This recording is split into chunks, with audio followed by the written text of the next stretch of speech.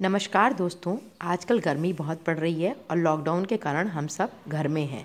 इसलिए आजकल मार्केट में जो भी फ्रूट्स अवेलेबल हैं, उनसे हम बनाएँगे हेल्दी टेस्टी एनर्जेटिक और फैट रिड्यूसिंग ड्रिंक तो चलिए इसको बनाना शुरू करते हैं। इस ड्रिंक को बनाने के लिए मैंने तीन ऑरेंज लिए हैं, एक पपीता, थोड़ा सा तरबूज, थोड़ा सा लेमन हाफ़ लेमन और मैं शहद लूँगी। तरबूज को छोटे छोटे पीसेस में काट लिया है, जैसे कि आपको दिख रहा है। और ये पपाया के भी छोटे छोटे पीसेस कर लिए हैं। ये ऑरेंज के जो स्लाइसेस अंदर से निकले, उनमें से हर में से बीज निकाल दिया ताकि जब हम जूस निकालें तो बीज का कड़वापन उसमें ना आए। ऑरेंज के स्लाइसेस अच्छी तरह से हम डाल करके और जूसर से इसका जूस निकाल लेंगे।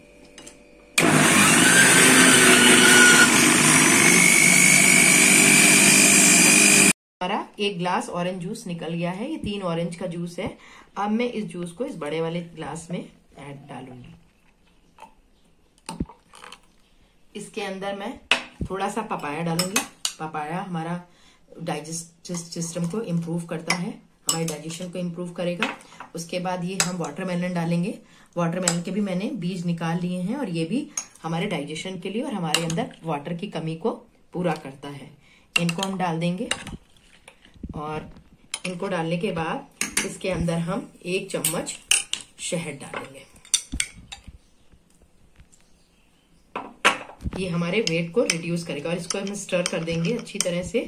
वेट को रिड्यूस करेगा हमारे और साथ ही साथ इसमें थोड़ा सा हम लेमन भी ऐड करेंगे। इसके हम बीज निकाल देंगे लेमन के और लेमन को इसमें ऐड करेंगे।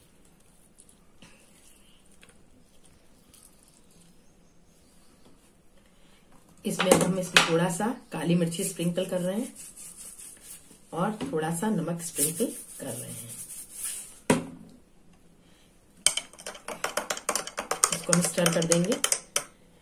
ये हमारा बहुत ही हेल्दी एनर्जेटिक ड्रिंक बनके तैयार हो गया है। इसको आप मॉर्निंग में पीजिए तो आपको बहुत अच्छी भूख लगेगी और आप दिन भर एनर्जेटिक फील करेंगे। और आपके वेट को रिड्यूस करने में भी हेल्प करेगा। अगर आपको मेरा ड्रिंक पसंद आया तो इसे रोज बना के पीजिए और मेरी ड्रिंक की रेसिपी को लाइक और शेयर कीजिए और मेरे चैनल अलका हनी क्रिएटिव को सब्सक्राइब करें ताकि टाइम टाइम टू टाइम मैं आपको अपनी अच्छी अच्छी रेसिपीज़ भेज सकूँ। नमस्कार।